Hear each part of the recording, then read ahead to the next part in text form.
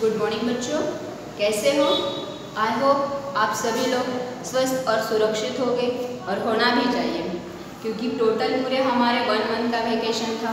बराबर one vacation में हमारा दिमाग माइंड पूरी तरीके से कैसा है? फ्रेश और रिलैक्स है। उसी नई ताजगी को बरकरार रखते हुए हमें अपने नए नए साल से जुड़े, जुड़ने के लिए आने हमारा एजुकेशनल नया साल से जुड़े रहने के लिए हमें पढ़ाई करना है। और उसी पढ़ाई को आगे बढ़ाने के लिए मैं मीरा पाल, आपकी हिंदी टीचर, आज यहाँ आपके साथ जुड़ी हूँ। तो बच्चों, सबसे पहले हम अपना देखेंगे कि हमें कौन सी किताब है, कौन सी नहीं है, प्रथम सत्र में क्या है, द्वितीय सत्र में क्या है, ये पहले हम बेसिक चीज़ें जान लेंगे, उसके बाद हम अपने पाठ्यक्रम को शुरुआत करेंगे।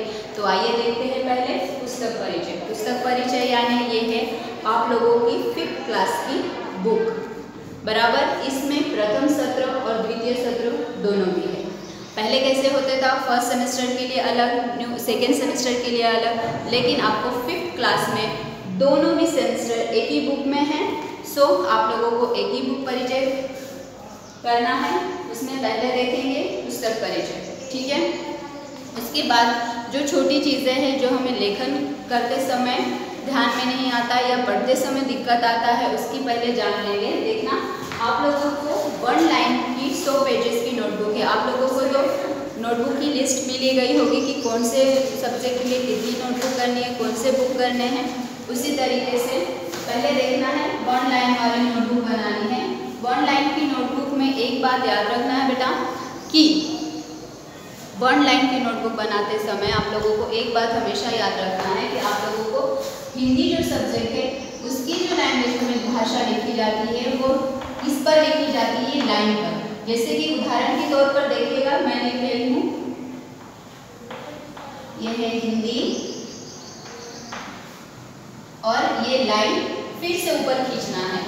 कुछ बच्चे कहते हैं कि, मैम लाइन तो खींची हुई है तो फिर हम क्यों खींचे इसलिए खींचना है बेटा ये लाइन की नोटबुक हमें जो लेती है वो हमारे अक्षरों को एक साथ यानी सीधा जैसा ही दिखने के लिए होती है। ताकि अगर वो लाइन ड्रॉ ना करी होती तो यहाँ से आप लोग हिंदी, हमारी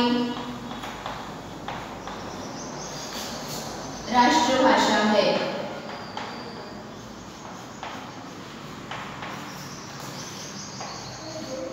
बराबर?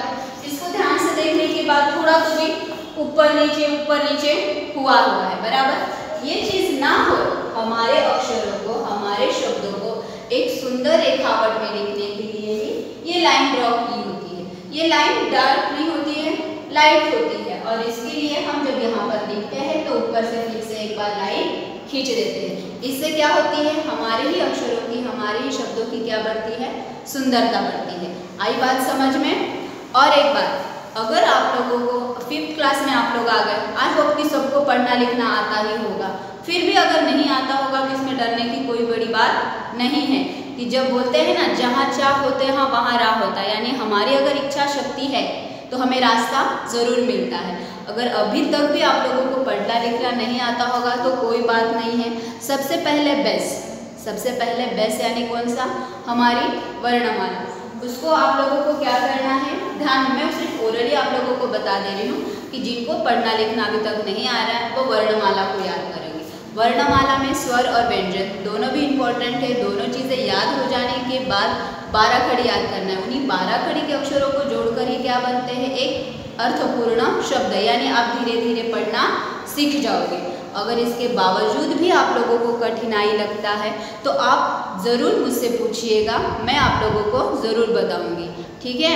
अब इसके नेक्स्ट पीरियड में हम क्या करने वाले हैं? अपने पाठ्यक्रम को स्टार्ट करेंगे। उससे पहले अगर सब्जेक्ट को लेकर कोई भी डाउट है तो हमसे बता दीजिएगा। धन्यवाद।